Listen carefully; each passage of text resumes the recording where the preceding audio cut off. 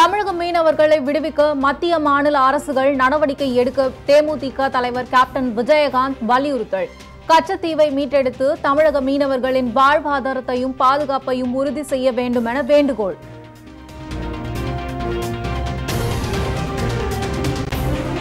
சென்னை மாநகராட்சியில் இரண்டாயிரத்தி இருபத்தி இரண்டு இருபத்தி மூன்று நிதியாண்டிற்கான பட்ஜெட்டை தாக்கல் செய்தார் மேயர் பிரியா ராஜன்.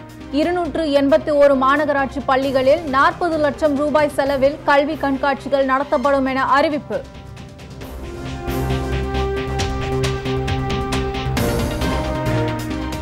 தமிழகத்தில் பொதுத் தேர்வு எழுதும் மாற்றுத்திறனாளி மாணவர்களுக்கு கூடுதல் சலுகைகள். மாற்றுத்திறனாளிகள் சொல்வதை எழுபு- எழுதுபவருக்கு கூடுதலாக ஒரு மணி நேரம் அவகாசம் வழங்கிய அரசாணை.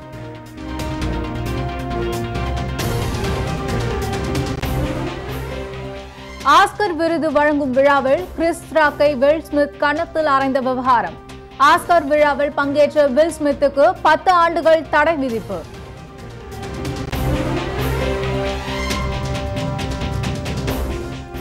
ஜம்மு காஷ்மீரில் நடைபெற்ற துப்பாக்கி சண்டையில் லஷ்கர் இ தொய்பா தளபதி சுட்டுக் கொலை.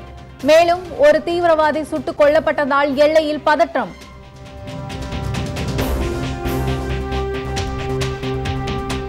சென்னையில் இருபத்தி இரண்டு கேரட் ஆபரண தங்கத்தின் விலை சவரனுக்கு இருநூற்று அறுபத்தி நான்கு ரூபாய் உயர்வு. ஒரு கிராம் நான்காயிரத்து தொள்ளாயிரத்து பத்தொன்பது ரூபாய்க்கும் சவரன் முப்பத்தி ஒன்பதாயிரத்து முன்னூற்று ஐம்பத்தி இரண்டு ரூபாய்க்கும் விற்பனை.